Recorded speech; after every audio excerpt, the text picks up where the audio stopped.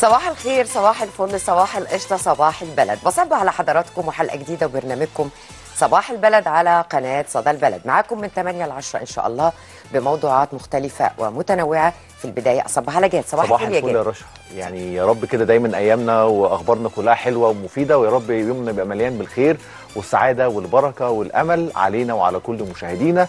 وزي ما رشا قالت موضوعاتنا كتيرة ومهمة وعايز أقول لكم غاية في الأهمية كمان النهارده اللي جانب الفقرات والموضوعات الأساسية اللي دايما بنحاول إن إحنا نناقشها ونغطيها خلال آه، حلقتنا على مدار الساعتين رشا هنتكلم في إيه النهارده آه بص هو امبارح آه يعني يمكن على شاشة صدى البلد من الساعة 11 الصبح مم. لغاية بالليل وإحنا بنتابع يوم من أهم الأيام آه في حياة مصر المعاصرة.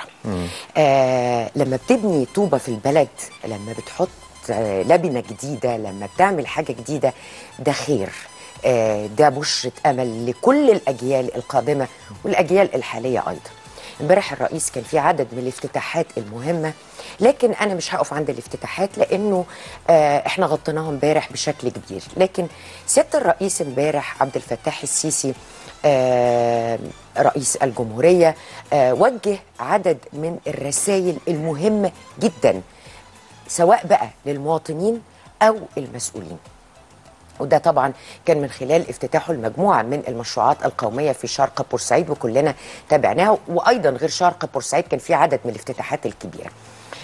آه الرئيس أنا عايزة أقف عند أكتر من رسالة. في البداية الرئيس أكد على أن الدولة بتتعامل بشفافية في مختلف القضايا وقال لا نبيع الوهم للعالم ولا نبيع الوهم لأي أحد لأن العالم بينظر لنا في تعاملنا مع إيه؟ مع أزمة كورونا باندهاش العالم كله مندهش مع مصر ليه؟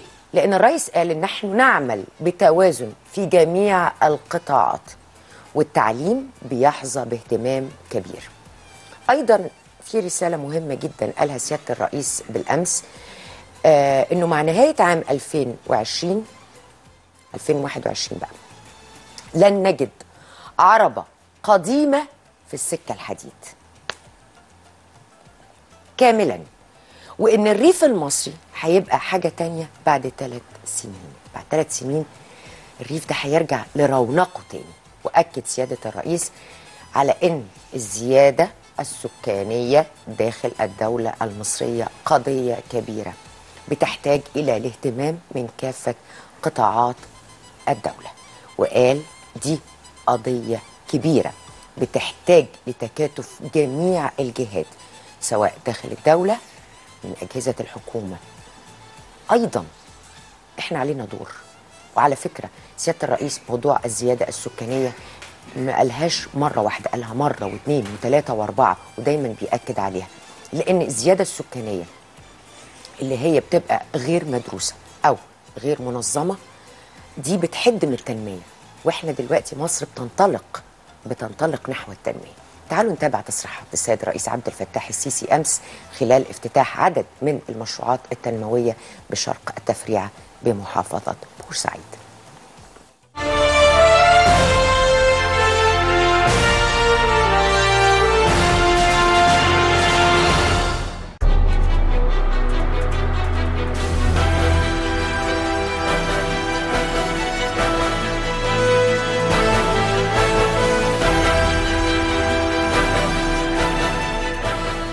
السلام عليكم. كل سنة وأنتم طيبين وسعيد إن أنا ألتقي بيكم. لكن خليني أقول النهارده بتواجدكم معانا النهارده أنتم شفتم. إحنا بنتصدى لكل لكل شيء. ده أمر محتاج الناس يوصل لها. كل الناس الناس البسيطه جدا والناس اللي هي آه يعني قطاعات الشعب المختلفة فئاته المختلفة. يعرفوا إن إحنا مش سايبين موضوع آه بنركز في حتة وسايبين لا لا. إحنا شغالين في كل قطاع بأعلى معدلات ممكن نعملها. يعني ده أقصى طاقة ممكن الدولة المصرية تنفذها بيها في كل شيء. أنا المهم اللي أنا عايز أقوله في في المشروع بتاع ال- القرى المصرية. وأنا يعني من خلالكم قدمنا للناس ببساطة اللي هيتعمل. لكن اللي إحنا بننشده إن إحنا نغير وجه الريف المصري بشكل متكامل. يعني ما نقولش إيه طب هنشوف القرى الأكثر احتياجا ونشتغل في فيها. أو نشوف ال ال القرى ال- الصرف الصحي بتاعها طبقا للخطة. لا لا لا. إحنا داخلين نقول ال 50 مركز دول ال 22 محافظة دول بال 1400 قرية تقريبا لا إحنا هنخش فيهم ونخرج هم مش محتاجين حاجة تاني. هم وإيه؟ والتوابع بتاعتهم. إنما القضية المهمة إيه؟ يمكن كتير مننا يقول لي طب يعني إزاي التكلفة المالية بتاعت الكلام ده أنتوا هترتبوها إزاي؟ التكلفة المالية مخططة ومدبرة كالآتي. بمنتهى البساطة يعني. إحنا بنقول إيه؟ قطاع الكهرباء كان حاطط آه، أرقام لصالح الكهرباء الريف وزيه زي الري زي الصرف آه، الصحي وزارة الإسكان يعني وهيئه المجتمعات كل واحد حاطط مخطط والصحة والتعليم كده. حاطين أرقام آه، في الموازنة خلال الثلاث سنين الجايين. هنصيغ نفسنا ومواردنا وصرفنا بحيث إن هو نحشده ونخلص به من حاجة واحدة. مرة واحدة. إحنا بنتكلم في ثلاث سنين. بنتكلم في ثلاث سنين على الإيه؟ على مش ال 1500 قرية. لا على 4500 قرية. ده أمر أنا بس حبيت إن أنا أقول لكم عليه. في فرصة لمصانعنا والقطاع ال- الصناعة في مصر طبعا. كل الكلام اللي إحنا بنتكلم عليه ده بنتمنى إن مستلزماته نجيبها منين؟ مصر. من مصر. من مصر. آه من مصر. آه مواسير صرف. آه كابلات كهرباء آه آه، محطات معالجة بطرمباتها أي حاجة ممكن تستخدم في صالح هذه ال- الأشغال تبقى تنتج فين؟ في مصر. هنا ما في ضغط على الدولار. وفرصة للصناعة ديت إن هي تاخد قوة دفع ضخمة. خد اشتغل وهات ونبتدي نعمل ون ونحرك الاقتصاد. أي حاجة داخل ال 1500 قرية دول مخططين إن إحنا ندخل ونخرج منها بتوب تاني خالص. طب أهلنا في الريف يساعدونا في إيه؟ هيتعمل أعمال حفر عشان تمد مواسير للصرف الصحي. استحملوا بقى اللي إيه؟ يعني يعني استحملوا شوية اللي إحنا آه، هنعمله عشان نخلص في أسرع وقت ممكن عشان ندخل على المرحلة الثانية أنا متفائل جدا بالله سبحانه وتعالى.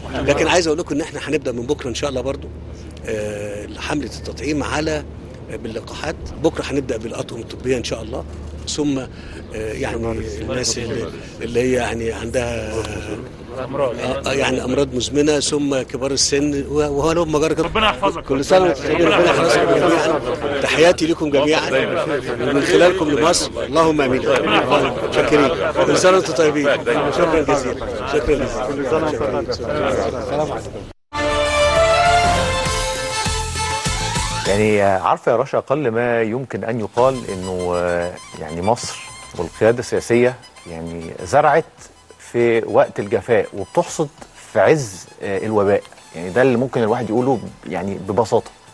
بص بص يا جاد يمكن أنا متابعة اليوم كله من أوله آه بكل تفاصيله يعني.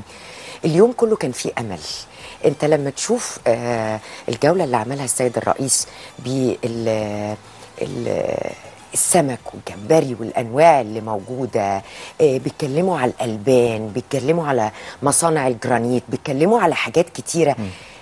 امبارح كانت في طاقة أمل كبيرة جدا. ال- يعني المصريين شايفين خير بلدهم قدامهم شايفين آه، خير بلدهم وبجودة عالية وقدام العالم كله.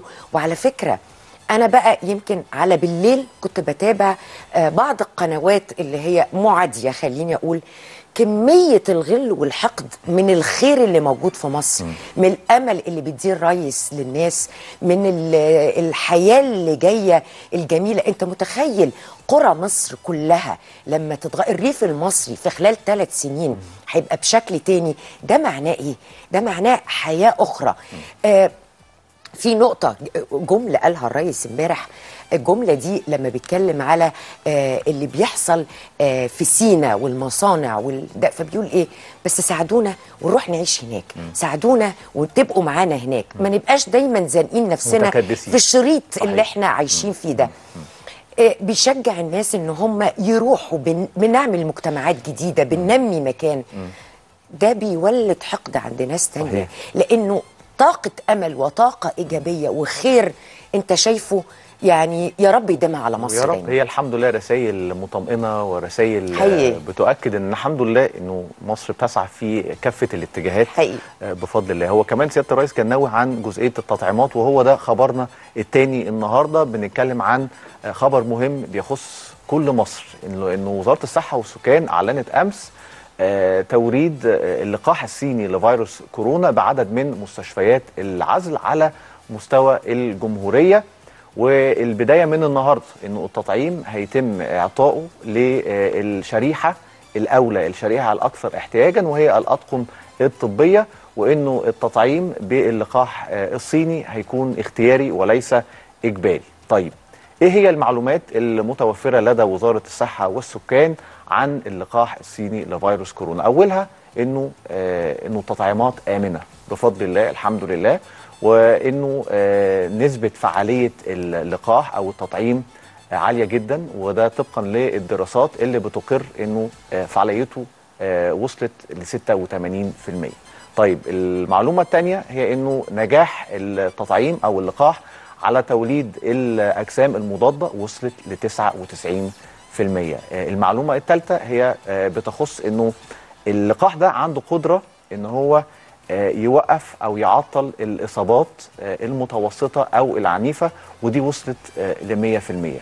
طيب أي معلومات أخرى بتخص الفيروس أو بتخص اللقاح الصيني هنقدر إن إحنا نعرفها من خلال الخط الساخن وهو 15 3 3 5 بحيث إنك تبقى مطمئن آه، وبإذن الله هو في الأول وفي الآخر هنبدأ بالاطقم الطبية وبعد كده هيبقى تدريجيا آه، يعني نوسع رقعة التطعيمات على باقي الفئات آه، الأكثر احتياجا كبار السن ال- الأمراض المزمنة الأمراض الأول. المزمنه وبعد كده تعمم على يعني المواطنين بإذن الله شوف برضو هرجع أقول إمبارح كان يوم آه يعني إذا كان رئيس الدولة رأس الدولة بيعلن إنه هيبتدي من النهارده الأطقم الطبية هتبتدي آه تاخد آه آه تلقيح ال- اللقاح الصيني. اللقاح الصيني. آه هناك تشكيك برضو كان بيقول لك آه ما هي مصر كل شوية تقول لك كده. يعني آه إحنا بنمشي بخطوات. عشان كده الرئيس قال الشفافية في التعامل. إحنا مش بنضحك على حد. كان في اجتهادات واشاعات بتقول إن هو لا لسه في فبراير لسه في مارس هيتم توريد اللقاحات. لا هو إحنا في يناير أهو الحمد لله اشتغلنا على طول. يعني انت ما يعني انت وصلت ما وصلتش لآخر يناير حتى انت النهارده كام؟ 24 فانت ما وصلتش لآخر يناير وبت... وهتبتدي تدي ده غير الجرعة ال 20 مليون اللي اللي, اللي هتوصل مصر علشان نبتدي. فيعني إن شاء الله إن شاء لله. الله. يعني نعدي الأزمة بقى بإذن الله. بإذن طب تعالوا نروح لفقراتنا النهارده. طبعا في البداية عندنا جولتنا حول العالم. هنبتدي بلندن. هنشوف في لندن مزاد للوحة الفنان ديفيد هوكني آه وبعد كده آه هنشوف استعادة الشرطة الإيطالية لنسخة مسروقة من لوحة دافنشي في نابولي. عندنا إيه كمان؟ كمان في جولتنا يا رشا هنشوف ماراثون للكلاب في جبال الألب الفرنسية وكمان هنشوف رجل صيني بيصنع أطراف صناعية من الحديد. دي كده ملامح جولتنا حول العالم. بعد الجولة العالمية هنروح لجولة ميدانية بنرصد فيها كل ما هو جديد من أخبار سياسية واقتصادية واجتماعية سواء اللي بيحصل جوه مصر أو خارجها. وفي البداية رشا هتستعرض مع حضراتكم أهم العناوين اللي هتبقى رؤوس الموضوعات خلال جولتها الإخبارية. اتفضلي يا رشا شكرا جدا. طبعا النهارده هنتابع في جولتنا الإخبارية عدد من الموضوعات المتنوعة. هنستعرض معاكم عناوينها وهي كالتالي.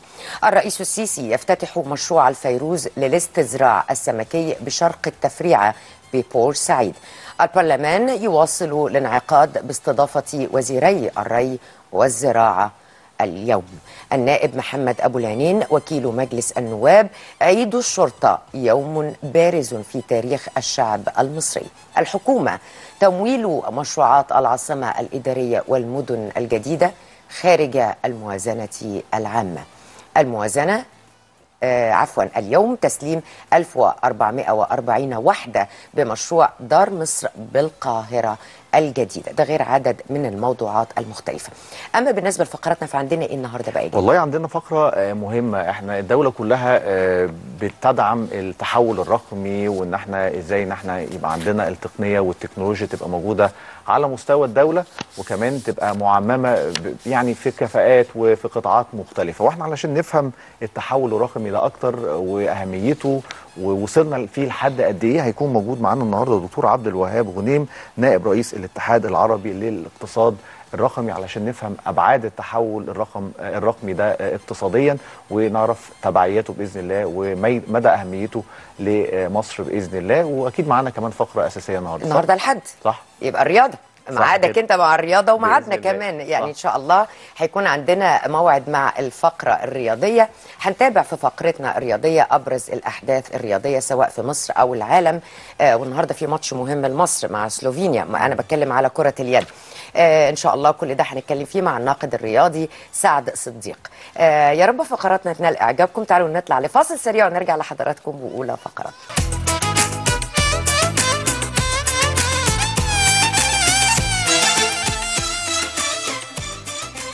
امبارح وإحنا جايين الصبح الجو كان برد جدا. يعني درجة الحرارة وأنا داخلة مدينة الإنتاج كانت ستة. النهاردة وأنا جاية لقيتها أدفى درجتين كانت تمن بقت تمانية. يعني عايزة أقول لحضراتكم النهاردة وانتوا نازلين كده الجو أدفى سنة من امبارح. لكن تعالوا نتأكد أكتر من دكتورة إيمان شاكر وكيل مركز الاستشعار عن بعد بالهيئة العامة للأرصاد الجوية. دكتورة إيمان صباح الفل. صباح الفل على حضرتك أستاذة رشا وصباح الفل على كل السادة المشاهدين. صباح الخير. آه، دكتورة إيمان النهاردة أدفى شوية من امبارح. آه يعني هو فعلا درجة الحرارة النهارده هتكون أعلى من امبارح آه، بحوالي درجة لدرجتين تقريبا متوقع توصل العظمى على القاهرة 20 درجة لكن الصغرى آه، ما زالت طبعا بتسجل ما بين 9 و10 درجات بالنسبة للقاهرة ده طبعا بيكون داخل القاهرة. لكن طبعا المدن الجديدة والمدن اللي بتكون على طرق صحراوية بتكون درجة الحرارة أكثر انخفاضا ممكن تصل إلى 6 أو 7 درجات فعلا زي ما حضرتك بتقولي. لكن طبعا إيه، يعني الترمومتر اللي عند حضرتك هو غير يعني معتمد أو غير مطابق لا ده بتاع العربية للمواصفات. والله يا دكتورة آه إيمان. ما أنا فاهمة طبعا هو الترمومتر العربية. فهو طبعا يعني إحنا يعني مش هناخد دي قوي لكن هو تقريبا هي فعلا درجات الحرارة فعلا بتكون في الحدود دي من 6 ل 7 درجات أثناء الصباح الباكر وخاصة في المدن اللي بتكون على طرق مفتوحة أو مناطق آه، صحراوية أكتر أو طرق صحراوية لأن طبعا الأماكن الصحراوية بتنخفض فيها درجة الحرارة أكتر بكثير جدا من الأماكن الداخلية في البلاد أو الأماكن الزراعية. ففعلا درجات الحرارة أثناء الليل منخفضة جدا بنشعر بإن الجو شديد البروده أثناء الليل والصباح الباكر لكن أثناء النهار مع سطوع أشعة الشمس الطقس بيكون معتدل وإلى حد ما نقدر نستمتع بيه أثناء ساعات النهار. طبعا الشبورة المائية في الصباح الباكر النهارده شبورة خفيفة ما فيش. منها أي آه، قلق أو. مشاكل. آه ده حقيقي فعلا. فما فيش أي تأثير على الطرق أو على حركة المرور والسفر على معظم أنحاء الجمهورية على كافة الطرق. طبعا الجو المستقر ده مستمر معانا إن شاء الله النهارده الأحد وحتى يوم الثلاثاء القادم. لكن بداية من يوم الأربعاء هيبدأ يكون في تقلبات جوية مرة أخرى. هنبدأ نشهدها. طبعا هيكون في منخفض جوي هيأثر علينا. هيتمركز على البحر المتوسط.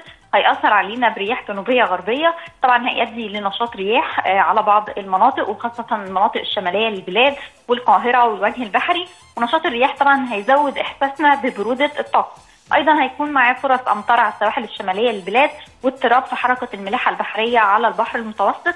وطبعا إحنا مع حضراتكم أول بأول بنتابع طبعا حركة المنخفض وتطوره أو طبعا ضعفه. لو في حالة إن هو يتطور ممكن تزيد كميات الأمطار أو في حالة إن هو يضعف طبعا تقل كميات الأمطار إلى حد ما. طب يعني آه، من يوم الأربع درجات الحرارة هتنخفض. يعني إلى حد ما هيبدأ يكون في انخفاض بحوالي درجة درجتين لكن الأكثر هيكون نشاط الرياح نشاط الرياح هيزود الإحساس بانخفاض درجات الحرارة.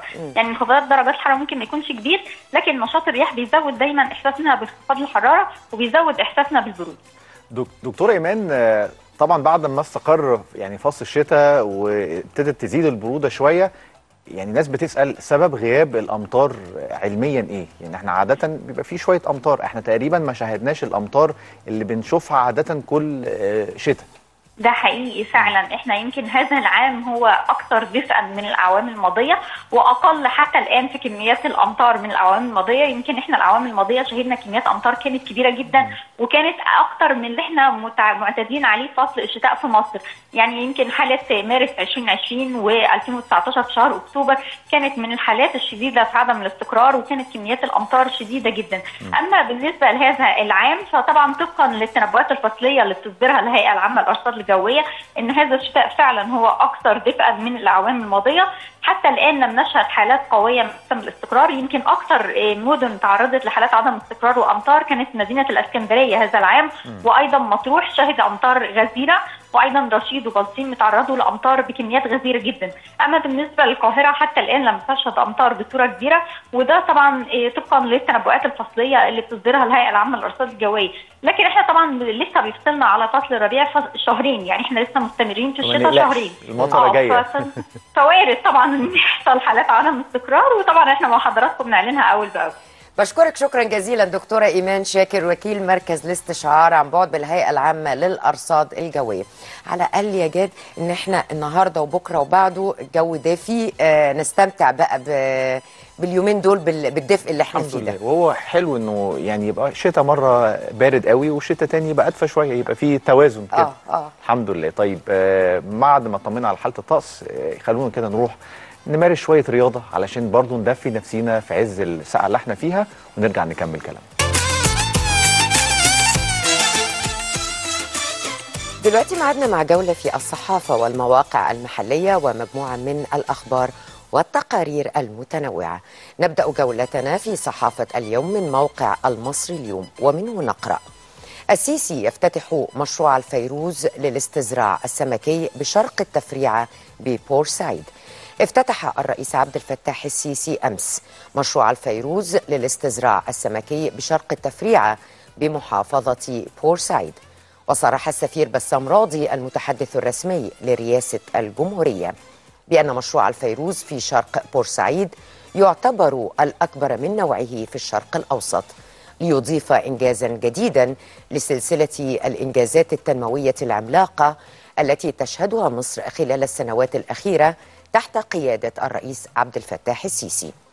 ويساهم المشروع العملاق كذلك بقيمة مضافة ضخمة في تنمية منطقة قناة السويس وشبه جزيرة سيناء وذلك بإنشاء مجتمعات صناعية وعمرانية جديدة بها حيث يوفر المشروع عشرة آلاف فرصة عمل مباشرة وغير مباشرة في العديد من المهن والتخصصات في هذا المجال. كما يهدف لتقليص الفجوة بين الإنتاج والاستهلاك وتحقيق الاكتفاء الذاتي والحد من الاستيراد ويزيد من فرص التصدير إلى الأسواق العربية والأوروبية مما يوفر العملة الصعبة ويدعم الاقتصاد الوطني. وأضاف المتحدث الرسمي أن الرئيس افتتح أيضا عددا آخر من المشروعات الخاصة بإنتاج الرخام والجرانيت برأس سدر والعين السخنة. بالإضافة إلى مشروعات للألبان والإنتاج الحيواني بالنوبارية والفيوم. ومن موقعنا موقع صدى البلد نتابع البرلمان يواصل الانعقاد باستضافة وزيري الري والزراعة اليوم. يواصل مجلس النواب انعقاده التاريخي باستدعاء ثمانية وزراء في جلسات الأسبوع الجاري بدءا من اليوم الأحد الرابع والعشرين من يناير حتى السابع والعشرين من يناير حيث يواصل الوزراء عرض الموقف التنفيذي لبرامجهم. ويلقي دكتور محمد عبد العاطي وزير الري والموارد المائية الموقف التنفيذي لبرنامج الحكومة. كما يحضر الجلسة أيضا وزير الزراعة واستصلاح الأراضي السيد القصير. وعلى مدار خمسة أيام ماضية انعقد ما يقرب من 32 ساعة عمل.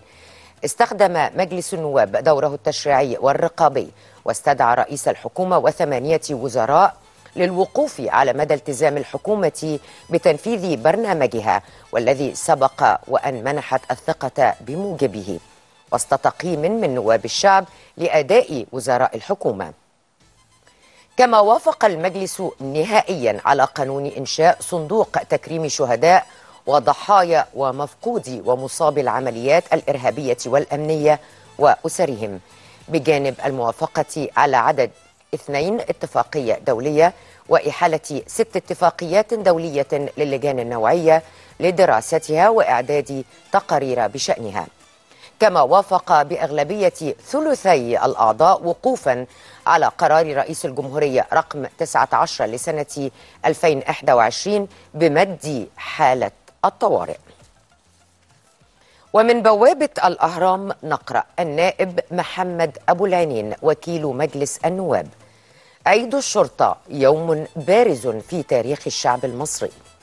تقدم النائب محمد أبو العينين وكيل مجلس النواب بالتهنئة للرئيس عبد الفتاح السيسي والشعب المصري. بمناسبة الذكرى التاسعة والستين للاحتفال بعيد الشرطة مؤكدا أن تلك الذكرى تمثل يوما بارزا في تاريخ الشعب المصري. وقال وكيل مجلس النواب إنها ذكرى لأمانة حملها رجال أوفياء يدركون قيمة الانتماء للوطن. ذكرى لبطولات خلدها رجال الشرطة بالتضحية والفداء دفاعا عن مصر وشعبها. كما هنأ النائب محمد أبو العينين وكيل مجلس النواب اللواء محمود توفيق وزير الداخلية وجميع قيادات وضباط وأفراد الشرطة في عيدهم. مؤكدا أن الخامس والعشرين من يناير يوم لنضال رجال الشرطة. حماة الوطن مضيفا. أتوجه بالتحية لمن يحملون أمانة حماية الجبهة الداخلية لمصر بكل شرف ووطنية. لمن يواجهون الإرهاب والتطرف ويضعون أرواحهم فداء لمصر وشعبها. لمن يبثون الأمن والطمأنينة في نفوس المصريين. وأكد النائب محمد أبو العينين وكيل مجلس النواب أن رجال الشرطة خلال تاريخهم قدموا صفحات خالدة من الكفاح والبطولة والتضحيات في سبيل الوطن وحماية أبنائه. فرجال الشرطة يخوضون معارك شرسة ضد قوى الشر ومكافحة الجريمة ويقدمون حياتهم من أجل عزة وكرامة وطننا. ووجه التحية لشهداء الوطن من رجال الشرطة الذين دفعوا حياتهم وأرواحهم ثمنا لحماية تراب وطننا وشعبنا وسطروا بدمائهم الغالية عهدا جديدا مشرقا مؤكدا أننا نستلهم من أسر شهداء الوطن الوفاء والتضحية والعزة والكرامة. وأشاد وكيل مجلس النواب برسالة رجال الشرطة السامية وأدائهم المتميز في الحفاظ على الأمن وإرساء دعائم الاستقرار والسلام الاجتماعي وتطلعهم الدائم لمستقبل مشرق يحقق حلم المصريين في وطن يسوده الأمن والاستقرار والتقدم. فعيد الشرطة ذكرى ملهمة تدعونا جميعا للعمل والكفاح من أجل وطننا. تدعونا للتكاتف مع رجال القوات المسلحة والشرطة للقضاء على قوى الظلام التي تريد الشر لمصر. أيضا من بوابة الأهرام نتابع الأعلى للجامعات إعلان جداول امتحانات الترم الأول بداية فبراير. وجه الدكتور خالد عبد الغفار وزير التعليم العالي والبحث العلمي. خلال اجتماع المجلس الأعلى للجامعات أمس رؤساء الجامعات بضرورة إعلان جداول امتحانات الفصل الدراسي الأول خلال الأسبوع الأول من شهر فبراير القادم والتي تقرر أن تبدأ عقب انتهاء إجازة نصف العام مباشرة. مؤكدا أن المجلس الأعلى للجامعات في حالة انعقاد دائم لتقييم الموقف الراهن بشأن جائحة فيروس كورونا المستجد بشكل يومي. وشدد الوزير على أهمية متابعة مشروع إنشاء الجامعات الأهلية الجديدة وسرعة مراجعة البرامج التعليمية ودراسات الجدوى الفنية مشيرا للحاجة لمراجعة الخطة الخمسية بشأن تعييد المعيدين بالجامعات لإعداد الكوادر البشرية المؤهلة والمؤهلة للجامعات الأهلية الجديدة. من بوابة أخبار اليوم نقرأ الحكومة تمويل مشروعات العاصمة الإدارية والمدن الجديدة خارج الموازنة العامة. قالت وزارة المالية إن تمويل إنشاء مشروعات العاصمة الإدارية وكذلك المدن الجديدة يتم خارج الموازنة العامة للدولة وبشكل مستقل ومنفصل. وأوضحت المالية أن نجاح الدولة في إيجاد قيمة اقتصادية للأرض المقام عليها تلك المشروعات وتحويلها إلى مصدر للتمويل بحيث تستخدم هذه القيمة الاقتصادية الناتجة عن بيع الأراضي للمستثمرين في تمويل عمليات الإنشاء وسداد مستحقات المقاولين والعمال بها. يذكر أنه تردد في بعض وسائل الإعلام والمواقع الإلكترونية وصفحات التواصل الاجتماعي. أنباء بشأن الإعلان عن إنفاق 90 مليار جنيه من الموازنة العامة للدولة لتنفيذ مشروعات العاصمة الإدارية والمدن الجديدة. وقد قام المركز الإعلامي لمجلس الوزراء بالتواصل مع وزارة المالية والتي نفت تلك الأنباء مؤكدة أنه لا صحة للإعلان عن إنفاق 90 مليار جنيه من الموازنة العامة للدولة لتنفيذ مشروعات العاصمة الإدارية والمدن الجديدة. ننتقل إلى موقع اليوم السابع ومنه نقرأ التضامن تبحث مع منظمة العمل الدولية تشغيل أبناء المستفيدين من تكافل وكرامة. توقع وزارة التضامن الاجتماعي اليوم الأحد وثيقة مشروع تشغيل الشباب في مصر في إطار برنامج فرصة بين وزارة التضامن الاجتماعي ومنظمة العمل الدولية بهدف توفير فرص عمل لأبناء الأسر الأولى بالرعاية وكذلك المستفيدين من تكافل وكرامة. يأتي ذلك في الوقت الذي أكدت فيه نيفين القباج وزيرة التضامن الاجتماعي أن الوزارة تسعى بقصارى جهدها وتستثمر أقصى ما يمكن من طاقات لديها لتنوع شراكاتها بهدف استكمال منظومة الحماية الاجتماعية ببرامج التدريب والتوظيف والتنمية الاقتصادية مشيرة إلى أن الدعم النقدي الذي تتيحه الوزارة من خلال برنامج تكافل وكرامة ربما يساعد بعض الأسر في التخفيف من حدة الفقر أو في سد الاحتياجات الأساسية ولكن الذي يخرج الأفراد من الفقر هو العمل والاستمرار في الإنتاج والنمو في نفس الطريق. من بوابة الهلال اليوم نقرأ الكهرباء مصر أصبحت بمثابة مركز محوري لتبادل الطاقة في المنطقة. قال الدكتور أيمن حمزة المتحدث باسم وزارة الكهرباء إن الإعجاز الذي تم في القطاع تفسره نسبة 25% من الفائض الاحتياطي. وأضاف في تصريحاته أنه تم إضافة أكثر من 28 ألف ميجاوات منذ 2014 كما يتم التحول من الشبكة النبطية إلى شبكة ذكية. وأكد متحدث الكهرباء أن مصر أصبحت بمثابة مركز محوري لتبادل الطاقة في المنطقة. بفضل تطوير شبكات الكهرباء ومشاريع الربط الكهربائي. من بوابة الشروق نقرأ كامل الوزير تشغيل القطار السريع تجريبيا أغسطس المقبل ودخوله الخدمة في أكتوبر قال الفريق كامل الوزير وزير النقل إن شركة سيمنز الألمانية تقدمت بأقل سعر بعد المفاوضات لإنشاء خط السكة الحديد بين العين السخنة والعلمين الجديدة والذي بلغ نحو ثلاثة مليارات دولار فضلا عن خمس عشرة سنة صيانة وتشغيل. وأضاف خلال تصريحاته أمس أن الرئيس تفاوض مع الشركة حول إلغاء عمولة تأمين المخاطر والتي تبلغ نحو 12.7% من قيمة القرض في حالة إقامة 1000 كيلومتر. وأفاد بأنه بحلول ديسمبر 2021 سيتم إضافة 36 قطارا جديدا يحملون ما يقرب من مليون راكب يوميا. مؤكدا أن القطار السريع سيعمل تجريبيا في أغسطس المقبل ويدخل الخدمة في أكتوبر 2021 وأوضح أن الشركة بادرت بإعطاء مصر خمس قطارات بتكلفة تصل إلى 150 مليون دولار مشيرا إلى عمل 15 شركة مصرية على إقامة الجسر الترابي والأسوار ضمن المشروع. من موقع الوطن نتابع اليوم تسليم 1440 وحدة بمشروع دار مصر بالقاهرة الجديدة. يبدأ جهاز تنمية مدينة القاهرة الجديدة اليوم الأحد تسليم 1440 وحدة سكنية في 60 عمارة تشملها الدفعة الثمانية عشر بالمرحلة الأولى بالمشروع السكني دار مصر للإسكان المتوسط بمنطقة القرنفل بمدينة القاهرة الجديدة.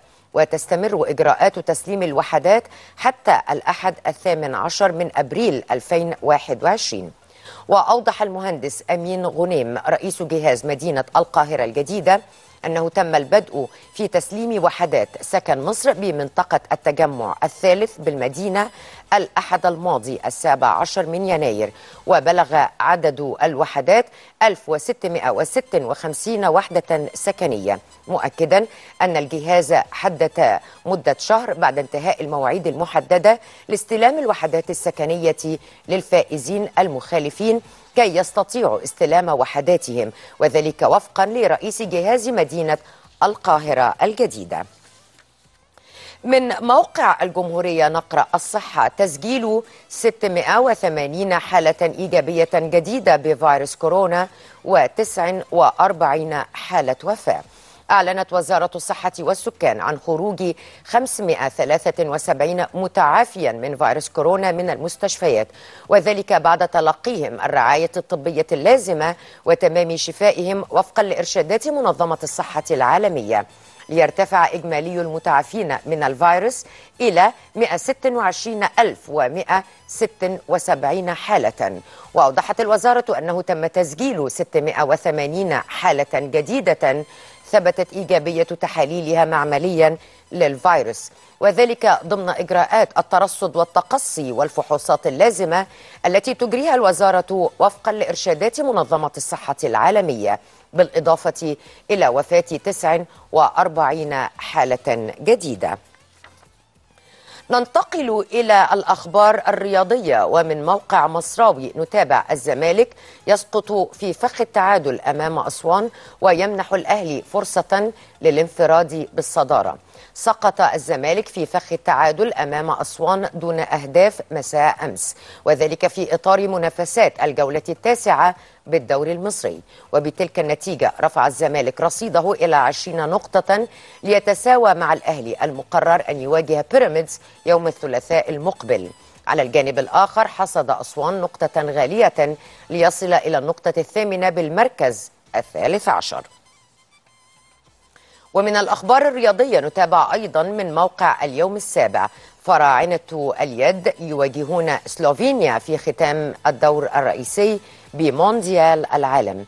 يواجه منتخب مصر الأول لكرة اليد بقيادة مديره الفني الإسباني روبرتو بار باروندو غارسيا نظيره السلوفيني اليوم الأحد في ختام مواجهاته بالمجموعة الرابعة من الدور الرئيسي ببطولة العالم مصر 2021 والتي تستضيفها مصر وتستمر حتى يوم الحادي والثلاثين من يناير الجاري.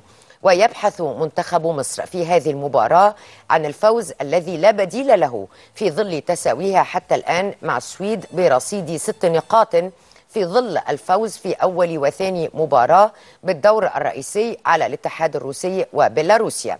وفي حال فوز مصر على سلوفينيا والسويد على روسيا في المواجهة التي تجمعهما ضمن مباريات المجموعة اليوم يصعدان معا.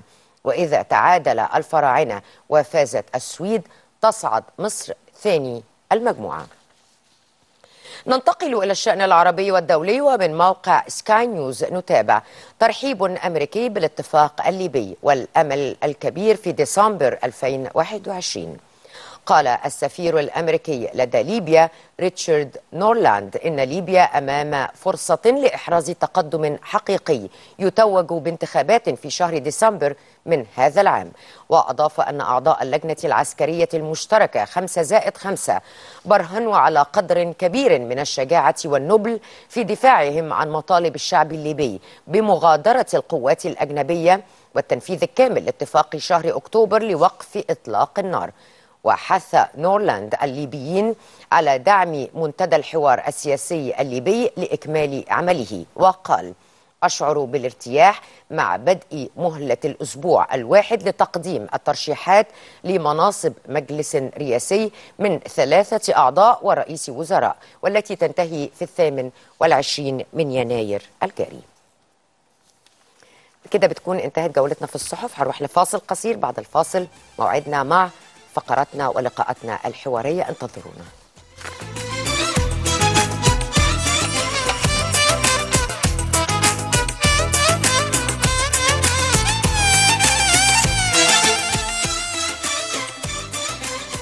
عزيزي المشاهد في فقرتنا دي عايزين نتكلم على مصطلح انت بقيت بتسمعه في الإعلام بشكل كبير. آه، بقيت بتقراه في الجرايد بقيت حتى لما بتفتح على النت بتسمع مصطلح التحول الرقمي وإن في جهود كبيرة بتبذلها الدولة علشان تواكب التطور والتقدم التكنولوجي. الحقيقة إن العالم بيتقدم مش هقول يوم بعد يوم لحظة بعد لحظة باللحظة. الجميل إن الدولة المصرية شغالة على موضوع التحول الرقمي بشكل جيد. ليه بنقول كده؟ لأن بنشوف إن في تدشين مدن في مصر بتواكب التحول الرقمي. في جهود بتبذل في العديد من الوزارات والهيئات في هذا الإطار إنها تبقى رقمية. إحنا معانا النهارده شخصية هنفهم منه حاجات كتيرة جدا. معانا الدكتور عبد الوهاب غنيم. دكتور عبد الوهاب غنيم نائب رئيس الاتحاد العربي للاقتصاد الرقمي بمجلس الوحدة الاقتصادية بجامعة الدول العربية. دكتور صباح الفل. أهلا صباح الفل وصباح البلد. الله يخليك يا فندم. دكتور عبد الوهاب في البداية الناس نوضح لها يعني إيه كلمة تحول رقمي. إيه التحول الرقمي ده؟ إحنا بنقولها كتير. صح. بس ما حدش عارف إيه التحول الرقمي ده وإيه المجهود عشان أبقى مرقمنه صح. خليني أقول. اولا كمقدمة للموضوع العالم كله أصبح عالم رقمي والمواطن أصبح مواطن رقمي. لما تيجي تمسكي حركة الإحصائيات في العالم بتقول إيه؟ عدد سكان العالم 7.8 من عشرة مليار شخص بيستخدموا حوالي 9 مليار موبايل ومنهم مشتركين في الإنترنت حوالي 5 مليار ومشتركين في وسائل التواصل الاجتماعي حوالي 4 مليار إذا بقى في وسيلة تواصل ما بين جميع البشر إلكترونية رقمية إذا الحكومات استغلت هذه وسائل التواصل إن أنا كمان أتواصل مع المواطنين بتوعي وأديهم خدماتهم رقمية وهو قاعد في بيته. دي أول حاجة. لما نيجي ندخل على مصرنا الحبيبة بقى مصر فيها حوالي مواطنين في مصر بيستعملوا حوالي 97 مليون موبايل. عدد مشتركين الإنترنت عندنا حوالي ما يقرب من 52 مليون وعدد مشتركين آه، وسائل التواصل الاجتماعي حوالي 42 مليون. طب ليه الكلام ده كله؟ ما هي وسائل التواصل الاجتماعي مع الإنترنت مع الموبايل هي دي الوسيلة إن الحكومة تتواصل مع المواطنين في تقديم خدماتها. إذا إحنا النهاردة بقى في وسيلة أقدر أتواصل بيها مع بعض. طب الحكومة عملت إيه بقى؟ مصطلح جهود الحكومة بقى عشان اوصل آه طبعا. للتحول الرقمي التحول. الرقمي زي ما حضرتك سألت السؤال في الأول إيه هو التحول الرقمي؟ إحنا الأول كنا بنعدي ناخد خدماتنا لازم نطلع من البيت ونروح للجهة ونطلع مكتب من مكتب وهكذا. لا خلاص النهارده بقت الحكومة بتعمل إيه؟ بتعيد هندسة الإجراءات لكل خدمة بتقدمها للمواطن بحيث تخلي هذه الخدمة رقمية على الكمبيوتر وتقدم للمواطن بعدة طرق إلكترونية بسيطة لا إما عن طريق تطبيق موبايل هو ينزله على الموبايل ويقدم الخدمة لا إما عن طريق اللابتوب لا إما عن طريق آه، آه، آه، كمان آه، مراكز تكنولوجية الحكومة أنشأتها أو حتى مراكز البريد لما اتطورت بتقدم هذه الخدمة. ومش بس كده كمان. طب أنا هاخد الخدمة إزاي؟ وهدفع نظير الخدمة. عملوا بوابات دفع إلكتروني أو من خلال بطاقة آه، الائتمانية البنكية. وهنا أنا وصلت بقى إيه؟ إن أنا قاعد في بيتي باخد الخدمة وأدفع نظير الخدمة. وكمان قضيت على منابع فساد كتيرة جدا حققت مبدأ الحوكمة هو الإلكترونية العنصر البشري اللي كان طبعاً. بصا- عن- عن- عن- عن- وبقى عن- في. عدالة وبقى في شفافية وفي مساءلة وفي مسؤولية في تقديم الخدمة انت تعرفي حضرتك السنة اللي فاتت العالم أنفق على مشروعات التحول الرقمي تريليون و180 مليار دولار العالم العالم آه. ده ميزانية تفوق يعني عشرات الدول الكبرى. إحنا في مصر الحقيقة لما فخامة الرئيس عبد الفتاح السيسي أطلق مبادرة التحول الرقمي منذ حوالي ثلاث سنين تقريبا دلوقتي الحكومة آه، أنفقت أنا أعتقد يعني فوق ال 100 مليار جنيه في تحسين البنية التحتية لأن أصعب حاجة في التحول الرقمي انت عايزة تنشئي بنية تحتية قوية بنية تحتية إلكترونية قوية انترنت اللي هي تتبع وزارة آه الاتصالات. طبعا إنترنت فائق السرعة عريض النطاق. طب ليه هذا الكلام؟ لأن من غير إنترنت قوي إحنا قلنا عندنا 97 مليون شخص عندهم موبايل. طب لو كلهم دخلوا في وقت واحد والإنترنت بطيء هيحصل إيه؟ الشبكة هتقع. إحنا كان عندنا قبل المبادرة سرعة الإنترنت في مصر بطيئة. كانت حوالي 5 megabit per second. النهارده حاليا حوالي 33 megabit per second. يعني اتضاعفت أكتر من ست مرات ونص. على نهاية هذا العام هتوصل يمكن حوالي 40 megabit per second. طب ليه إحنا طب هو العالم كام يا فندم؟ لا المتوسط العالمي عالي جدا؟ لأن يعني أعرف بس كام. 96 96 آه. آه لا إحنا لسه بعيد شوية معلش بس هقول لحضرتك حاجة إحنا مرينا فترة من 25 يناير 2011 لحد سنة 2014 فترة توقف فيها التطوير إحنا طبعا أطلقنا السنة اللي فاتت قمر الصناعي طيبه واحد للاتصالات والإنترنت فائق السرعة عشان يغطي المنا... المحافظات والمناطق الحدودية عندنا إن كانت محرومة من الإنترنت فائق السرعة. دي أول نقطة. النقطة الثانية اللي هي بتستهلك الفلوس أساسا البنية التحتية. النقطة الثانية إحنا كان عندنا في الوزارات مجموعة من قواعد البيانات المتناثرة اللي بتشتغل كجزر منعزلة سابقا طب انت النهارده لازم تربطيهم كلهم ببعض عشان المواطن لو دخل أي جهة حكومية يقدر يتفرع منها إلى جميع الجهات. طيب معلش عشان برضو ن- نبسط الموضوع ليا وللسادة المشاهدين.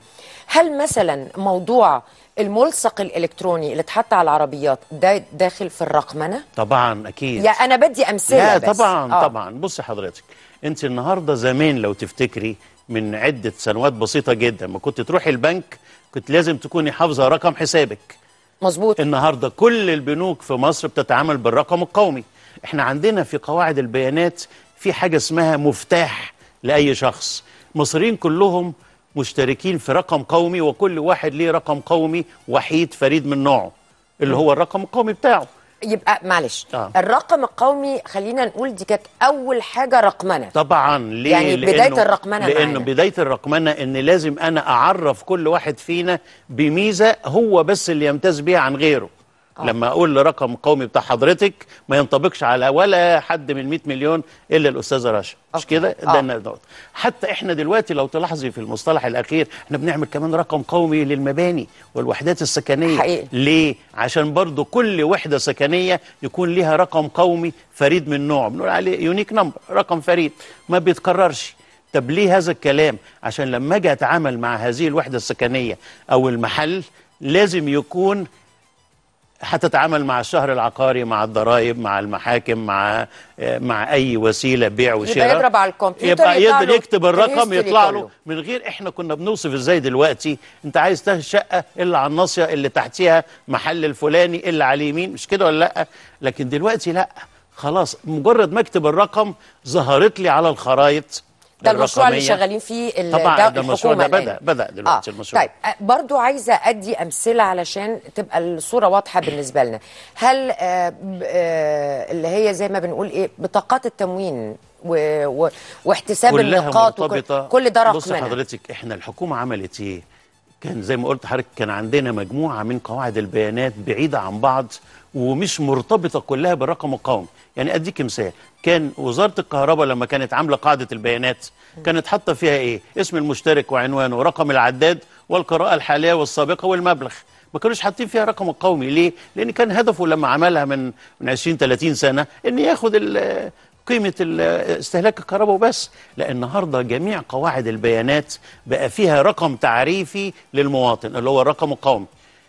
مصر عملت إيه؟ دمجت أكتر من 70 قاعدة بيانات في قاعدة بيانات موحدة اللي هي فيها كل واحد فينا ما يخصه من تعليم وصحة وتموين آه، أنت فكرتني ومعاملات بقى بحملة وكلها. 100 مليون صحة. دي كانت أعتقد لكل المصريين كانت طبعا قاعدة بيانات أكيد. مهمة. ما بيانات بقت مهمة. آه. اذا دلوقتي حضرتك لو رحتي أي جهة حكومية بمجرد ما بتدخلي الرقم القومي بيقدر يعرف عنك كل حاجة ويطلب ويطلب منك بقى إيه الخدمة اللي انت عايزاها. الخطوة اللي جاية هتبقى أحسن طبعا. إحنا حاليا دلوقتي البطاقة الرقم القومي بتاعتنا مش بطاقة ذكية. البطاقات الذكية بيبقى فيها شريحة. بمعنى إيه؟ إن ممكن مستقبلا الحكومة بتعمل فيها دلوقتي هيبقى إيه اللي يحصل؟ أنا أروح أي وزارة لو مش عايز لو عايز أروح يعني. عنده هو جهاز قارئ صغير كده قد نص كف اليد يحط فيها البطاقة ظهرت له كل بياناتي من غير ما يسألني. ده الوضع ال- اللي هيبقى طبعا مستقبلا. لكن إحنا دلوقتي بنقول إيه؟ إحنا وفرنا على ما يقرب من 3 إلى 5 مليون مواطن كانوا بينزلوا يوميا للجهات الحكومية والمحليات للحصول على التراخيص والمعاملات المختلفة والمستندات حقيقي. المختلفة والضرايب دلوقتي والضرايب كمان والضرايب وال- و- والشهر والبنوك العقاري والمحاكم. آه. وكله أنا النهارده لما بعمل لهم تطبيقات على الموبايل إن يقدر ياخد الخدمة وهو قاعد في بيته ويدفع كمان نظير الخدمة بالظبط وهو قاعد في طيب. بيته دكتور عبد الوهاب إحنا ال- الكلام اللي قلناه ده شيء جميل وشيء رائع وعصري و و. هل ال- الرقمنة آه، أو التحول الرقمي له سلبيات؟ يعني إحنا كل اللي بنقوله إيجابيات. آه، الموضوع ده فل 100 100 كده ما فيهوش أي حاجة. لا في تحديات. تحديات مش سلبيات. مش سلبيات بس آه. هقول لحضرتك بس آه، اولا هيفيد المواطن في إيه؟ إن المواطن برضو مش حاسس قوي الموضوع إحنا لما كان بينزل عدة ملايين تاخد الخدمات اولا كان بيستهلك فلوس في المواصلات والنقل بيعمل تلوث في البيئة بيحصل حوادث الحكومة بتصرف آه، دعم قوي جدا على المحروقات اللي بتنزل دي كلها حقيقي. طب كل الكلام ده لما أنا أوفره للمواطن وللحكومة ومليارات من ساعات العمل ضايعة الناس بتاخد اجازات من شغلها أو بتخرج من شغلها باذن أو بدون اذن. كل الكلام ده لما اوفره للمواطن وللحكومة ده آه، بيضاف لناتج المحلي الإجمالي للدولة بشكل عام.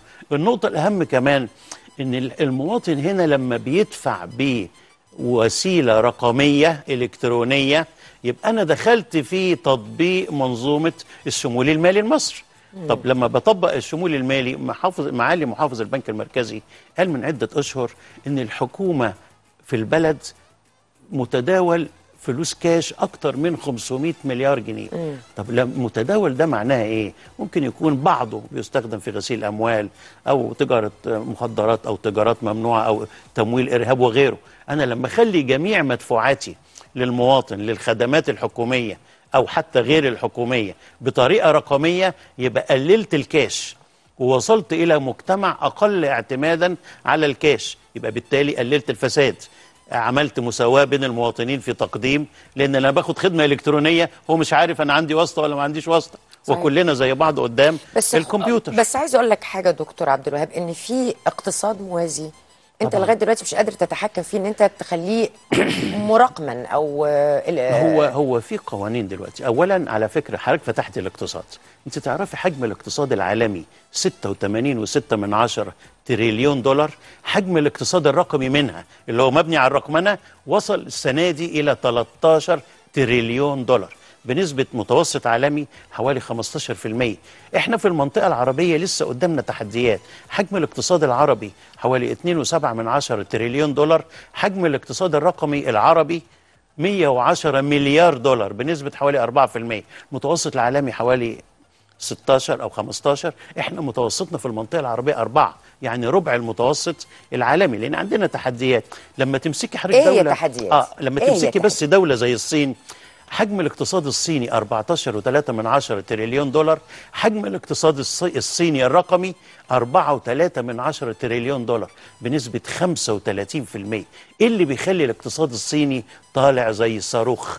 لأنه معتمد على التحول الرقمي والاقتصاد الرقمي. إحنا التحديات اللي بتقابلنا في مصر ومعظم دول العالم. التكلفة العالية جدا للتحول الرقمي. لأن حضرتك النهاردة إحنا في مصر مطلوب مننا إيه؟ عندك حوالي 35 ألف مبنى حكومي مختلف وزارات ومحليات مرتب... لازم تربطيهم بشبكة إنترنت فائق السرعة من خلال الألياف الضوئية. دي معناها إيه؟ ببساطة هتحفري في الشوارع وتغيري الكابلات كلها.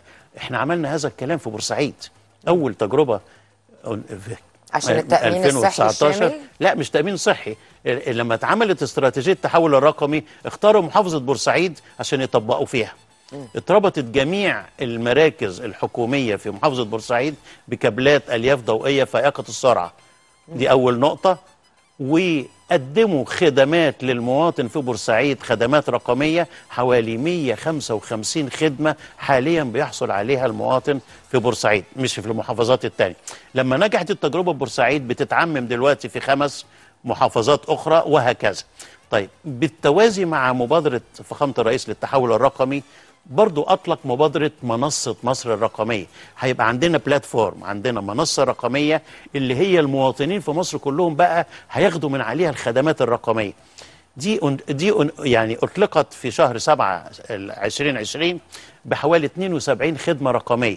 مت- متوقع خلال سنتين هيبقى فيها أكتر من 550 خدمة رقمية المواطن على ربوع مصر كلها بيحصل عليها.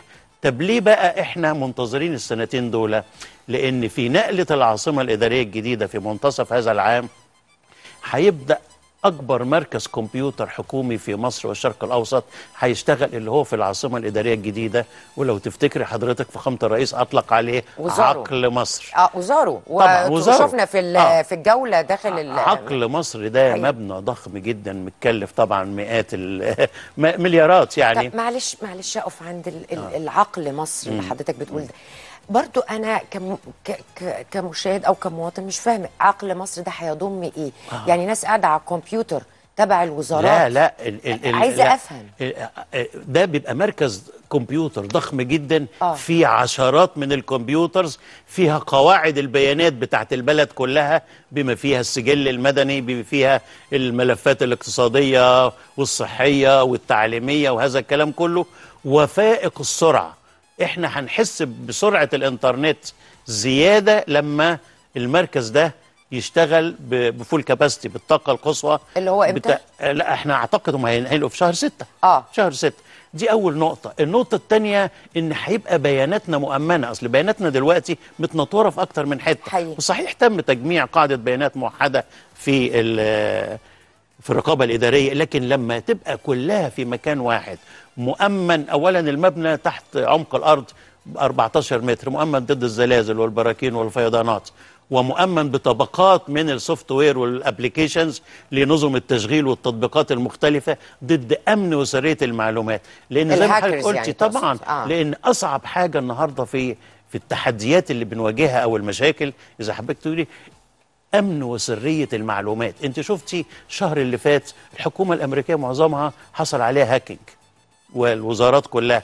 في الانتخابات الأمريكية من أربع سنين دخلوا الهاكرز تدخلوا في الانتخابات لأن يا الهاكرز في فندم ده في حاجة كانت واقعة أوحش اللي هي آه هذا الطفل اللي دخل على آه اجتماع وزراء دفاع حلف الناتو. ما هو بص يعني يعني حضرتك، يعني متخيل يعني. أنا محكم دولي في القضايا اللي زي ديت في البنوك وغيرها.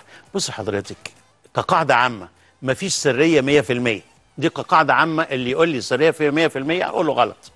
لكن إحنا بنوصل إلى درجات درجة من الأمان عالية. عالية. آه. طب الدرجات العالية دي اولا إيه؟ أول حاجة لازم أشفر كل بياناتي اللي خارجة واللي داخلة عشان أعتقد إن لو حد لقطها مش هيفهمها. يبقى لازم أعمل encryption للبيانات اللي داخلة واللي خارجه ثم كمان أعمل احتياطات physically للمبنى واللي داخلين فيه واللي عاملين وكل الحاجات. ثم بقى logically بطبقات مختلفة من الحماية. أنا بعمل ليه طبقات؟ لأن مكلفة أمن وسرية المعلومات مكلف. ممكن واحد يقول ما نعمل طبقة واحدة حماية. تقول لك طب لو اخترقت يبقى دخل بيتك. لا اعمل له طبقة ورا طبقة ورا طبقة ورا طبقة. آه، sorry يعني في اللفظ زي قشرة كده أي حاجة طبقات ورا بعض. أنا بصعب الأمور على المخترق. وعلى فكرة المخترقين أصلا دول نوعين. في نوع هاكرز ونوع crackers ال hackers اللي هم القراصنة الهواة. طالب ذكي شوية يدخل على إيه؟ الجامعة. الكراكرز دي العصابات المنظمة اللي بتديرها آه، منظمات غسيل الأموال والإجرام والمخابرات الدولية. يعني تتخيلي حضرتك المنظمات اللي بتدخل على حكومة مع حكومة معينة عايزين يسقطوا الأمن القومي بتاعها دي بتبقى منظمة عصابات منظمة وبيبقى فيها بقى آلاف من الناس شغالين على موقع معين بتكنولوجيا. بتكنولوجيات عالية جدا.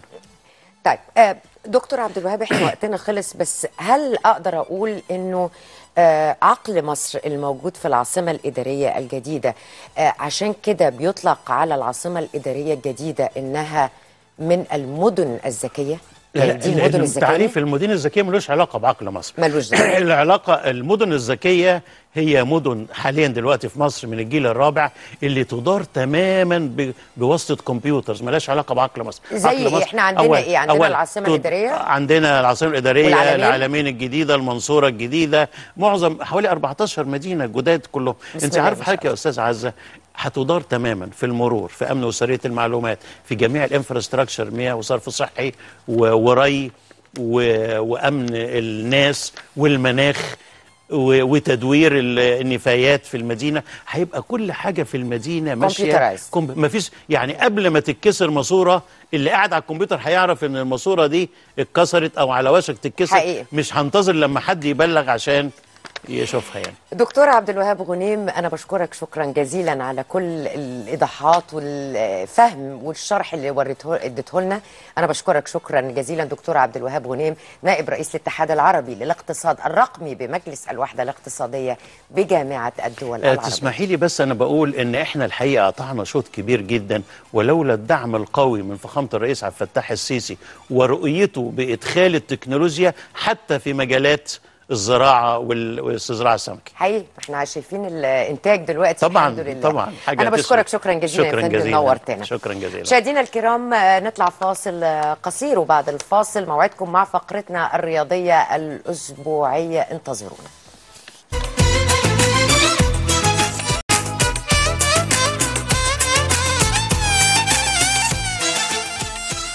أهلا بحضراتكم وفقرتنا الرياضية الأسبوعية المتجددة ودايما بنحاول نرصد فيها كل اللي بيحصل في الساحة الرياضية وأكيد يعني الأيام اللي إحنا فيها دي لا صوت آه، يعلو فوق صوت بطولة كأس العالم لكرة اليد اللي بتستضيفها آه، بلدنا الحبيبة وأكيد كمان النتائج الجيدة اللي بيقدمها المنتخب الوطني لكرة اليد. يعني حاجة تشرف أداء بطولي وعايزين نقف شوية ونفهم المنتخب ده هيوصل بينا لحد فين؟ لأنه خلاص طمعنا في البطولة وأكيد كمان عايزين نتكلم عن الكورة. يعني الدوري المصري شغال وفي حالة من يعني آه، كراسي الموسيقية على صدارة الترتيب وكمان اللي بيحصل في قاع الجدول. كل دي تفاصيل محتاجين إن إحنا نقف عندها ونتكلم عنها باستفاضة. والنهاردة منورنا ضيفنا آه، الناقد الرياضي الأستاذ سعد صديق اللي دايما كده بيمتعنا بآرائه ويعني تحليلاته الجميلة. منورنا أستاذ سعد النهارده. وصباح الخير وصباح الخير على حضرتك وعلى كل السادة المشاهدين. صباحك فل. طبعا آه عايزين نتكلم في البدايه عن آه تنظيم البطولة حتى الآن وأبرز آه المنتخبات اللي يمكن لفتت نظرك وإحنا بندخلين كده هو على خلاص المرحلة الأخيرة في الدور الرئيسي والصعود المنتخبات المتأهلة للدور ربع النهائي. أنا شايف البطولة يعني يعتبر نجحنا تنظيما آه، كمان آه، الناس كلها بدأت تتابع. البطولة عاملة جو كويس آه، منتخبنا ما شاء الله عامل ماتشات كويسة. اللي النهارده في ماتشات آه، قد تكون مؤثرة جدا للأربع فرق في مجموعتنا. آه، مصر هتلعب الليلة الساعة 7 إن شاء الله مع مع سلوفينيا. صح كده. إن شاء الله. والسويد مع روسيا. ال- الأربع فرق كلهم عندهم عندهم حافز وعندهم أي فريق هيفوز طبعا هيصعد لدور الثمانيه الماتشات زي ما بيقولوا ماتشات نارية أداء قوي أداء رجولي من كل الفرق. ال- ال- ال- الميزة كمان إن الأربع فرق عندهم أمل الصعود لدور الثمانيه وده هيدي هيدي سخونة المباريات مش مش عارفين مين هيصعد لحتى آخر لحظة. هتبقى ماتشات قوية ونتمنى يا رب الفوز لمنتخب مصر عشان يكمل مشوار. ونتمنى كمان إن هو يصعد ويصعد أول عشان نبعد عن الدنمارك اللي هي حامل اللقب. عندنا لو بعون الله نصعد ونصعد أول ممكن نواجه يا قطر يا الأرجنتين.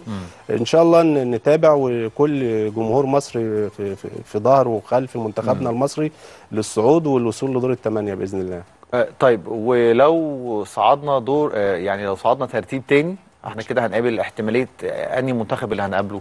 لو صعدنا ترتيب تاني هن هن منتظرين بقى مين يصعد قطر أو الارجنتين. دور دور تاني. آه دور الثمانيه يعني أنا إحنا بتكلم الترتيب، يعني النهارده لو- يعني. خلينا النهارده محطه النهارده إن شاء الله نكسب أو على الأقل نتعادل هنصعد إن شاء الله. صعدنا أول هنبعد عن الدنمارك وننتظر اللي يصعد من الأرجنتين أو ال- أو أو المنتخب مش القطري. كرواتيا؟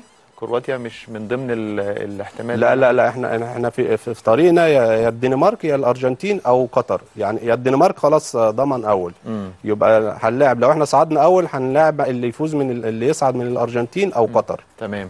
صعدنا تاني هن- هن- هنقع بقى في صدام مع الدنمارك وإن شاء الله منتخب مصر قادر بالدعم الجماهيري والإعلامي والشحن اللي هي لسه. المنافسة برضو مشتدة ما بين قطر والأرجنتين والأرجنتين و- لسه وكرواتيا. لسه لم يحسم زي مجموعتنا. آه لسه لم تحسم وكل الاحتمالات واردة منتخبنا بس نفوز النهارده مش عايزين نفكر فيما بعد نكسب بس النهارده ونصعد ودور الثمانيه دي برده محطة مهمة لمنتخب صحيح، مصر صحيح. منتخب مصر فيه شباب كتير وتدعيمات كتيرة المجموعة دي عاملة ماتشات كويسة نصعد بس النهارده وبعد كده نفكر طيب إحنا قبل. ما نتكلم فنيا شوية عن منتخبنا الوطني إيه المنتخبات اللي يعني اللي حضرتك شايف دول كمان يعني عاملين حالة كويسة جدا في البطولة ومرشحين للفوز بالبطولة. يعني لفتوا نظرك لأنه الناس مش شايفة إنه السويد هي السويد بتاعت كل بطولة. آه، يمكن الدنمارك هي اللي ماسكة نفسها شوية. الدنمارك طبعا حامل لقب وفريق منظم وفريق إمكانياته. مع لازم نعترف إن برضو الكورونا أثرت كتير جدا على كل المنتخبات والاستعدادات. ما فيش يعني كان كان قبل أي بطولة زي بطولة عالم كل منتخب بتلاقيه لاعب 20 25 مباراة دولية. قليل جدا الفرق اللي عرفت تلعب ماتشات ودية فده أثر طبعا أثر عشان كده هتلاقي المستويات كلها قريبة من بعض. هيبقى بس العامل التوفيق وعامل ال- الإصرار أكتر هو اللي ممكن يكمل وممكن يوصل لأبعد مدى. السويد طبعا ظهر بصورة طيبة منتخب مصر عامل ماتشات كويسة روسيا الدنمارك قطر عامل ماتشات الأرجنتين. في لا في أكتر من 8 أو 9 منتخبات عاملين وكلهم مرشحين. والكرة اليد خلي بال حضرتك ما بت- ما بتحسمش النتيجة ما بتحسمش الا غير مع في نهايه الثواني الأخيرة. الثواني آه. يعني إحنا شفنا تعادلات كتير يعني برضه فالنتائج صعب نقول مين اللي هيكمل ومين اللي هيوصل للنهائي. بس يمكن ده اللي محل البطوله شوية يا أستاذ وده الميزة آه طبعا إن أنت قاعد لآخر لحظة ما أنتش عارف آه، في تشوق. يعني نتمنى بس منتخبنا النهارده آه. أهم حاجة نفوز النهارده ونبقى من الثمانيه الكبار طب قبل ما نتكلم. عن مباراة النهارده أمام سلوفينيا إحنا عايزين نقف شوية ونفهم هو إيه اللي يميز منتخبنا الوطني لكرة اليد عن عن النسخ اللي قبل كده. هو في مزيج من الشباب والكبار أحمد الأحمر بيمثل الجيل القديم اللي هو صاحب الخبرة اللي بينزل المعلم زي ما بيقولوا. والقائد آه المدرب عرف يستغله. أول ماتشين ما رضيش يدفع بيه بشكل أساسي. شحنوا ز- جهزوا صح. عندنا شباب وليد وليد قداح وجيله. فالميزة إن أنت عندك كبار وصغار وشباب. يعني كل دول بيعملوا مزيج بيعملوا أداء راقي ومميز وممتع. والروح أنا شايف كريم هنداوي واقف على الخط هيتجنن بي بيوجه الطيار اللي هو اللي هو الصغير الحارس الصغير زميله. الروح دي يعني مع الدعم اللي أنا شايفه ده إن شاء الله نحقق نتائج كويسة إن شاء الله في البطولة. المنتخب ينقصه إيه علشان آه، يحقق البطولة؟ يعني هو كأداء ونتائج زي الفل.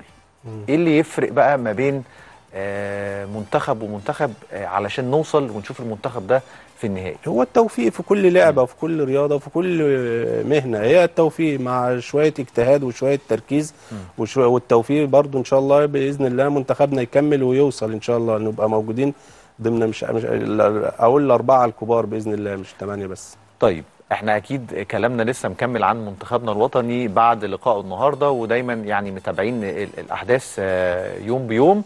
آه، خلينا ننتقل للكورة والأحداث الرياضية اللي بتحدث داخل يعني الساحرة المستديرة. آه، عندنا يعني حالة من الكراسي الموسيقية آه، أسبوع الأهلي متصدر أسبوع تاني الزمالك متصدر. وفي حالة يعني تبادل الأدوار بنشوفها يمكن الأهلي آه، قدر إن هو يحسم لقاء المقاولون. كان لقاء آه، آه، يعني ندي جدا. الزمالك امبارح الكلام كله عليه. يعني آه، ما قدرش إن هو يستثمر فرصته أمام آه، أسوان. أسوان، وتعثر وتعادل في في الآخر. آه. السنة دي أنا شايف المنافسة منافسة قوية الاهلي والزمالك تحديدا. مع مع احترامنا لكل الفرق ال- ال- الأخرى الأهلي والزمالك سيظلوا هم المنافسين الأقوى لل- للقب الدوري. السنة دي بالذات الزمالك يتميز إن هم ولاد النادي مسكوه لعيبة الكورة يعني عبد الحليم علي بقيمته وقامته وأخلاقه أشرف قاسم آه أيمن يونس آه المجموعة دي بتحب النادي وبتحب النادي وبتشتغل بإخلاص. بيعرفوا يلموا الفرقة رغم بعض المشاكل والخلافات وخلي بالك النادي ممكن في لعيب يتأخر له فلوس ممكن مستحقات ممكن تجديد عقد ممكن بيعرفوا يحتووا لأنهم لعيبة كورة وناس فاهمة وناس راسية وناس عاله فبيديروا ملف الكورة باحترافية وبقوه عشان كده ما تلاقيش الزمالك ما عادش ما ما بيطلعش لعيب دلوقتي يتكلم رغم إن هو ممكن ما يكونش خد مستحقاته بس في وعود وفي ناس متعاملة معاه بالشياكه فشايف الزمالك السنة دي. هيبقى أقوى وأفضل يعني. طيب طبعا امبارح المباراة يعني كان في حالة جدل رهيب آه، حوالين آه، بعض المشاهد أو القرارات التحكيمية. بينالتي للزمالك ولا مش بينالتي إمام عاشور كان المفروض يتحسب له بينالتي ولا لأ؟ حضرتك شايف انه الزمالك اتظلم امبارح ولا إيه وجهة نظر لا مش شايف إن الزمالك اتظلم خالص. هو الك- الكرة اللي جت جون والحكم لجأ للفار وطبعا كانت فاول- واضح. هو ما عجبنيش بس الكابتن علاء عبد إن هو طلع بعد الماتش وقال أنا أنا يعني حاسس إن الزمالك كان ليه ليه هدف. الكلمة زي دي برضو بتأثر أنت كمدرب منافس أنت خلاص الموضوع ده صفحة واتقفلت المفروض ما تطلعش تعقب على مدير فني. لأنه حتى لو ظلمك أنت يعني ما كانش لا ما يصحش تطلع تقول إن أنا الزمالك لا. لا أنا شايف إن الزمالك آه، لا ما اتظلمش. وكل الاخطاء واردة. يعني لو حضرتك تابعت بس هو يعني هو يو يعني هو هو يعني وجهة نظره هو يعني هل أنت مع مش مع فكرة إنه ال- المدير الفني للنادي خصم إن هو لا ما؟ يعقبش. لا ما يقولش آه. رأيه لأن دي بتعمل مشاكل وبتعمل آه، بتوسع الفجوة كمان بين الجمهور ده وده. طيب أستاذ آه، سعد ال- الناس بتتكلم عن دور الفار. يعني هل دور الفار آه، بيقف طالما الحكم ما أبداش رأيه أو ما أصدرش قرار فيما يخص مثلا واقعة إمام عاشور كان قريب من الكورة والناس بتسأل هل دو- دور الفار عبارة عن إيه في اللحظات اللي زي دي هو بيتدخل في الحاجة الحاسمة والمصيريه يعني في قرار ضربة جزاء في قرار استحساب هدف أو إلغاء هدف ده لازم بيتدخل فيه لكن مش هيتدخل في رمي آوت أو. رمي التماس أو إحنا بنتكلم. على الكور الحساسة. والمهمة آه القرار اللي هو يعني هو الزمالك كان ليه كور لو ما لجاش للفار كان في أول دقيقة ونص كان متقدم بهدف. لكن الكرة من البداية كان فيها ضربة حرة فاتلغت. ليه اتلغى الحكم كان خلاص حسب الكرة فاول الكرة فاول. رجع للفار كلموه قالوا لا. فهو بيتدخل في إمتى؟ في القرار المصيري والمهم اللي هيغير نتيجة ماتش. لازم ضربه جزاء الكره فاول. بس. طيب عشان برضو ننصف ال- الفار أو ننصف يعني ننصف المنظومة التحكيمية في مصر إحنا كان عندنا آه، واقعة أخرى وهي آه، بيراميدز آه، لما كان بيلاعب سموحة والمفروض إن الكورة في كور من الكور عدت خط المرمى ولم تحسب أو لم تحتسب لصالح آه، نادي بيراميدز فهي آه، ده وارد. آه، لم عفوا لازم لم تحتسب. لنادي آه، سموحة. فهي الأخطاء واردة. الأخطاء واردة وطبعا أي حاجة فيها عامل بشري ففيه خطأ وارد. ولكن الخطأ المقصود ده اللي المفروض ما يعديش مرور الكرام ولو لو أثبت إن في خطأ مقصود وتم تجاهله لازم يبقى في عقاب ولازم يبقى في استبعاد أي حكم يخطئ ويخطئ مرة واثنين لازم يبقى في استبعاد. كمان المجموعة اللي بتبقى موجودة اللي هي قاعدة للفار دي المفروض بتبقى صاحية ومركزة وفي الحاجات المهمة بتتدخل في الوقت المناسب. أعتقد إنه يعني أكتر من واقعة كفيلة بإن تخلي الاتحاد يعيد النظر في دور الفار في الفترة اللي جاية. طبعا إحنا بنشوف فيها أنا بقول لحضرتك ماتش اللي سموحه كنت بتفرج عليه سموحه واسوان والإسماعيلي أربع قرارات للحكم يعني لو فرضنا ما فيش فار أربع ضربات جزاء بقرارات آه، رجع للفار يعني برضه ده خلى يعني كنت قاعد مع مسؤولين كبار قال لك الفار خلى الدماغ الحكم تريح يعني بيبقى سرحان في الماتش. حاسس إن هو لو في خطأ هيلحقوه بالفار. لازم نركز لازم يبقى الحكم عنده ثقة في نفسه وما يلجأش إن هو دايما خلاص أنا هستنى لو في حاجة مصيرية أو في خطأ طب أنا. الفار هيلحقني. لا لازم تبقى مركز برضه لازم يبقى عندك شخصيتك وعندك قرارك المصيري عشان تدخل الفار كتير ده برضه مش كويس طيب هو عامة الاتحاد المصري لكرة القدم يعني قال إحنا بنقبل الانتقادات بس ما بتجوش قوي على ال- الحكام فنأمل إنه كل ال- المعطيات اللي إحنا اتكلمنا فيها دي آه، ياخذها نتمنى. الاتحاد في عين الاعتبار ونشوف ده بيطبق عملي من حيث جودة آه، القرارات التحكيمية ومساعدة الفار الفترة للقرارات اللي جاية هيبقى. المنافسات قوية وشرسة والدوري زي ما حضرتك قلت يعني كراس كراسي موسيقية صحيح. فالدنيا ربنا يستر وما يحصلش طيب. ننتقل سريعا للنادي الأهلي اللي بيستعد أكيد آه، للسفر وال يعني الأداء وتشريفنا إن شاء الله في بطولة كأس العالم. للأندية إن شاء الله. بطولة يعني ما فيش بعد كده بطولة آه، طبعاً، طبعاً. الأهلي هيتعامل مع البطولة دي إزاي في ظل آه، الالتزامات الإفريقية في ظل آه، الدوري المصري الممتاز والتزاماته بالدوري كمان وطبعا الأهلي بخبراته بمجلس إدارته بلاعيبه بيعرف يفصل بين ان هو هيلعب في الدوري الممتاز وهيلعب في كأس عالم. كأس عالم دي طبعا شرف ما بعده شرف بطولة كبيرة وبطولة مهمة و تتحسب لأي لاعب في السي في بتاعه إن هو لعب كأس عالم. الأهلي محظوظ إن هو هيلعب قبل ما يسافر كمان عنده قبل ما يسافر قطر عنده بقى ماتش بيراميدز وده ماتش قوي ومهم هي- هيجهز لعيبته هي موسيماني هيعرف يحط ايده على زي ما بيقولوا على نقاط ال- القوة والضعف لفريقه للتشكيلة الأمثل قبل السفر لقطر.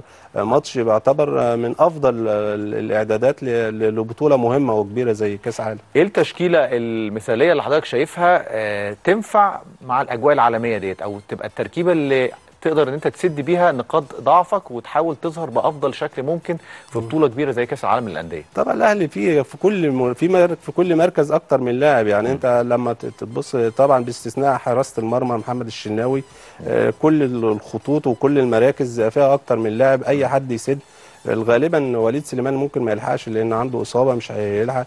باستثناء كل المجموعة طبعا قادرة وجاهزة وكل واحد فيهم لوحده يسد في مركزه طبعا. حاسس إنه هيبقى في ظهور آه، لافت للنظر لبعض اللعيبة إن ممكن دي تبقى فرصتهم إن هم يزيد بارقهم أو يعني يثبتوا وجودهم مع النادي الأهلي من خلال بطولة كأس العالم للأندية؟ هو طبعا بقول لحضرتك كأس عالم يعني كأس عالم بطولة كبيرة ومهمة كل اللعيبة ده بيبقى عندهم تركيز أكتر عندهم العالم كله بيبص على بطولة زي دي مهمة. ممكن تبقى نقلة نقلة كبيرة لأكتر من لاعب ممكن تبقى بداية لتسويق لعيب الأهلي نشوفهم في أكبر الأندية الفترة اللي جاية مع نهاية الموسم ده إن شاء الله. هايل.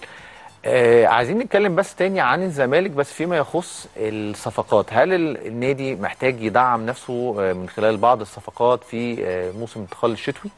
هو كان في كلام انه لو مصطفى محمد هيسافر أو كده لكن الموضوع إن هو سافر لإحدى الفرق الفرنسية تم طبعا تعثر ببعض الخلافات هنا وهناك. طالما مصطفى محمد قاعد فهو خلاص هم كانوا منتظرين مصطفى هيتباع بمبلغ كبير فوق ال 5 مليون يورو فالمبلغ ده ممكن يجيبوا بيه ثلاث أو أربع لاعبين. ال- ال- الض- الضائقه المالية اللي فيها الزمالك هتأثر بعض الشيء إن هو يفكر هو بس دلوقتي بيحاولوا يس- يسدوا الموضوع ال- ال- المتأخرات والمستحقات ال- ال- اللي باقية للعيبة وتجديد عقود.